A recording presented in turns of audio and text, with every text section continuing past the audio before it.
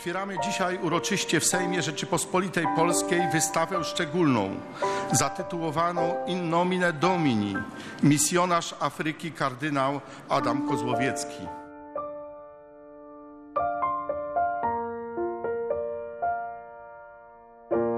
Uroczyście ogłaszam, że wystawa poświęcona tej niezwykłej postaci księdzu kardynałowi Adamowi Kozłowieckiemu zostaje w tej chwili otwarta w Sejmie Rzeczypospolitej Polskiej.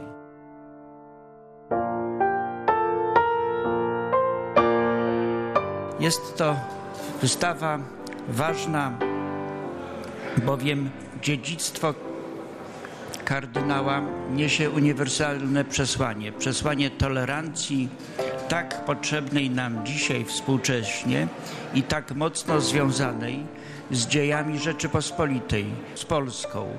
Tolerancja jest pewnym, pewnym cechą, pewną cechą charakterystyczną naszych ziem Rzeczypospolitej i Polaków.